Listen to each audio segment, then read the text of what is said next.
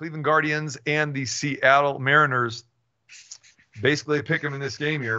At BetUS, you got Cleveland minus 110. If you like the M's, it's even money. Seven, the total here, under 125. If you do like uh, not very many runs tonight, and that uh, may make a little bit of sense. Got Shane Bieber going for the uh, for the Guardians, and then Logan Gilbert going for Seattle. Bieber's been good, four of his last five starts, ERA of 1.62, and uh, Gilbert, eh, not so much. Scott, yeah. give us the handicap here. I'm going to go first five in this one, and it's based on current form. I mentioned Cleveland's been, you know, the Crews rising to the top and threw them in the mix, and I know they lost last night, but first five innings, Cleveland on the money line over Seattle in this one for me. And the current form finds Shane Bieber. You just mentioned his numbers in much better shape than Logan Gilbert right now. I mean, Bieber's allowed six earned runs, 32 base runners, one home run in his last five starts, spanning 33 and a third. That means he's given you almost seven innings pitched per start, and he's got those fantastic numbers. Uh, he's punched out 34 batters along the way. Uh, so he's getting it done, man. His control is outstanding right now at this point of the season.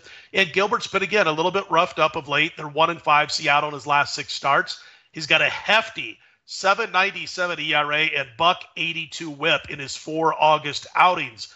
Does Mr. Gilbert. His strikeouts to walks this month are weak. He's got 13 Ks and nine walks. And I think he's going to have more issues tonight against this team. Cleveland's top 10 in batting average, OPS, WOBA, weighted runs created plus on the road against righties over the past six weeks.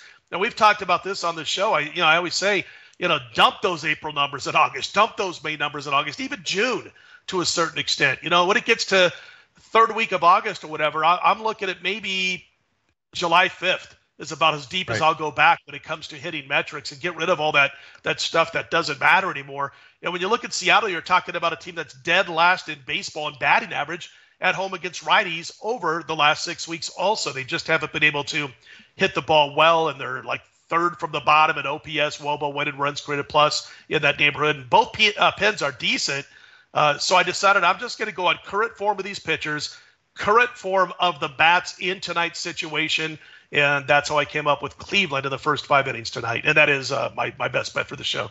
Yeah, and that does make a lot of sense. You talk about uh, Bieber and his numbers, rock solid. Looks like the old Shane Bieber is back. Yeah. And then as far as you know, Gilbert goes, yeah, 0 2 in his last eight starts. The ERA uh, 5.61, so not good at all. And I know Seattle could be a scary team at sure. home. I mean, Haniger has been outstanding. Uh, you know, again, and you know maybe they they do something uh, you know late in this game, possibly, but you know that's not your bet. Your, I think your bet is is a smart bet. Jump on Gilbert uh, from the beginning there. So let's put Scott down, lock him in for that one. He's taking Cleveland uh, first five, going to lay 125 in this one for Cleveland to outscore the Mariners after five innings.